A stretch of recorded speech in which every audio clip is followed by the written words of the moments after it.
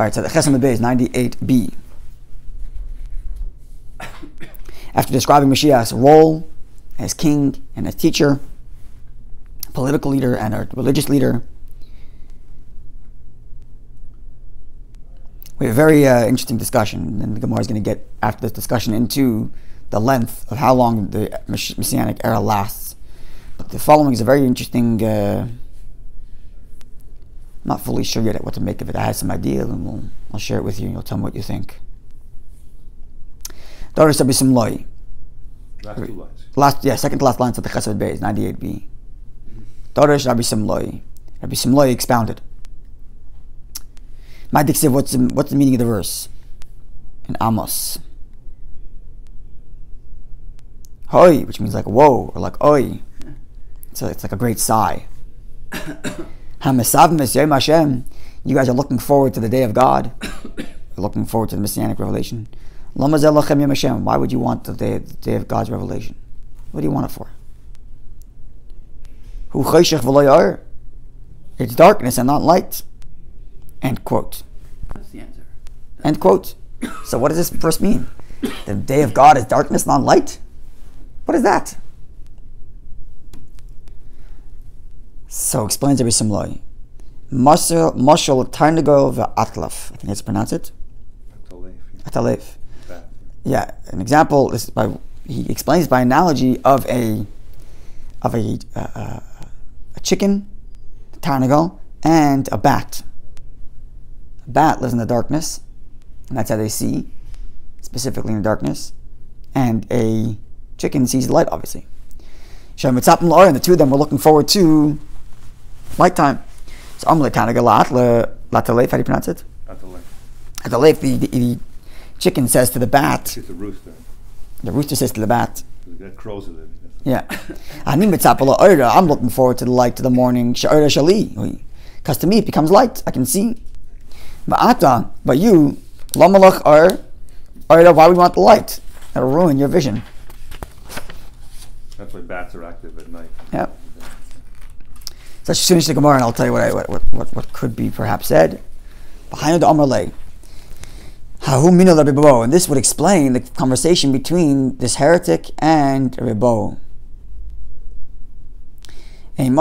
Mashiach. When's Mashiach going to come? Is what this heretic asked Rabbi. Amarle, so Rabbi said, kind of answering not just the question, but answering him, lahanu inchi. When darkness, when encompasses these kinds of people, meaning people like you, heretics, when darkness engulfs you, that's when Mashiach's going to come. Amalei milut kalayatli. You're cursing me. What did I do to you? Why are you cursing me? Telling me that Mashiach's going to come when I'm going to be engulfed in darkness. Amalei, so Abo said, look, it's not my fault. Karuksiv. It's a verse. The verse reads, Yeshaya, Kin aretz. Darkness will cover the land or conceal the land. Va'arofel, arofel is like deep darkness. La'umim uh, will be uh, upon the nations. Va'alech, va'elayich, va'alayich, and upon you, the Jewish people. Yizrach oil shall shine light. V'kvoide alecha yira, and God's glory will, will be exposed to you. End of this uh, comment in the Gemara. So what does this mean? I, I, there's two ways. Two ways I've been thinking about it. One way is that because we've been saying till now, as we've been describing at length, that Mashiach's coming is not an unrelated event, but rather the sum total of our time here in exile. It's the ultimate goal towards which we are working. So that would mean that your experience of Mashiach, let me reframe that. The revelation of divine truth to the point that it is seen. We've talked about this before. One of the one of the uh, descriptions of Mashiach's time is vision, as opposed to hearing. That we're going to see Hashem Ayin Ba'in Yira, we'll see God eye to eye. Hashem, and the God, the glory of Hashem is revealed in such a way that we see it. Now, when you see something, you and I look at a painting, we both see the same painting. We see it. Right? The question becomes to what degree we appreciate that vision. And therefore, I guess what the Gemara is saying is is that you will be, the bat is in the same light that the chicken is. Not different light. The question is to what degree you can appreciate it. Or, another way of putting it is, how painful a person's lack of appreciation of that revelation could be painful. Better way of putting it. Meaning, if a person lives in an exile state where he sees the darkness as light, like a bat, uh, what's the, Lashon? The person assumes darkness as light. In other words, and even in a time of exile, the challenge is in a time of darkness to remember what is light and what is darkness. And to remember the fact that we don't feel and see godliness is in and of itself a darkness. And then when the light arrives, we'll appreciate it. But if we see materialism as our light, what's the light in our lives? Materialism. And then one day, the light's turned on, and we see that everything we've been chasing is actually darkness. Then that light can become blinding. Eventually, our eyes will adjust and will appreciate the messianic revelation also.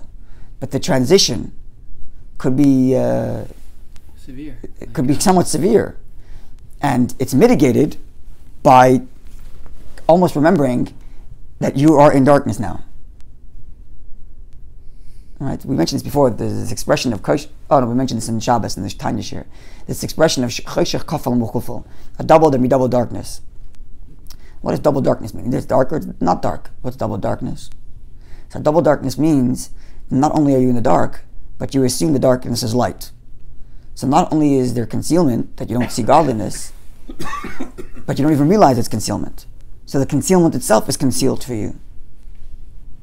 Now, which is one thing where a person's living a materialistic life, but at least he appreciates that, you know, this is not the BN, the be all and, what's the expression? Be all Be all and end all. But then there's another way of living where a person assumes this is it. The darkness, materialism, and uh, pursuit of pleasure, that is the light. This is what he's chasing. This is the light and life and meaning he's pursuing. In this case, the person's darkness has become his light. The reality of darkness has become his light, like the bat. And when the light's turned on, it could be blinding For him. Like, for him. So, it'll be different So he's going to be in. people. That's right. He'll be in the same revelation. And I think that's what I think this way of, of understanding this. The same revelation is the same for everybody. The question is, and during the time of time of exile, are we adjusting our eyes to remember that there's a greater light to be seen? There, this, what we're chasing here in this world is not the is not it. This is this is this is concealment, and that in and of itself becomes a way in which we can transition into a time of full revelation of godliness. One way of thinking about it. Different There's also different colors of black. There are differences. Very, very black where you don't see anything, That's cheshich v'arafel, yeah.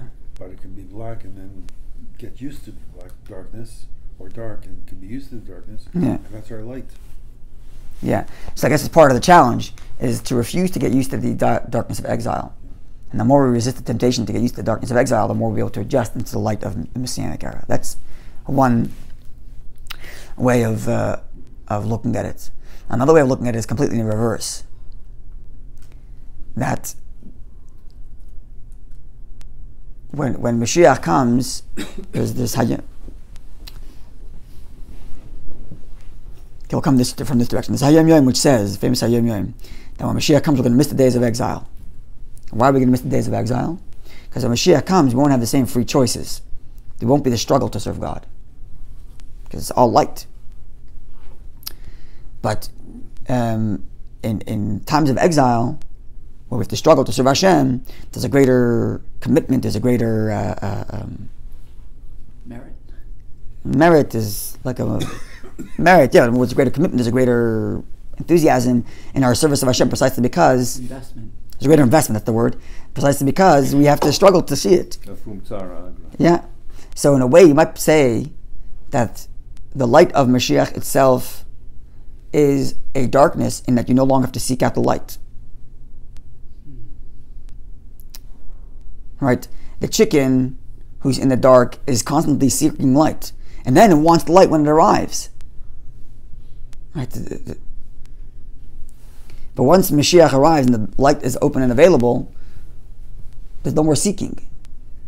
And then you, the bat, who in the darkness wasn't even seeking the light, what did you get? You were just transplanted from a place of darkness where you weren't seeking the light. And now you're in full light. And now what? Can't we use the darkness as a metaphor?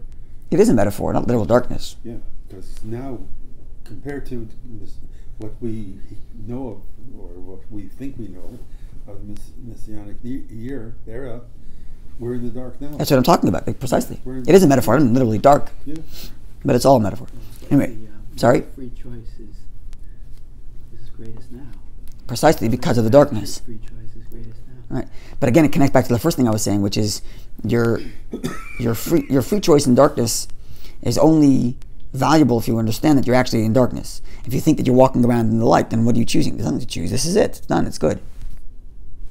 Right. You're only, only the, the, free, the free choice and the struggle in the darkness of exile is only when a person remembers that you're in darkness and you have to struggle for something greater.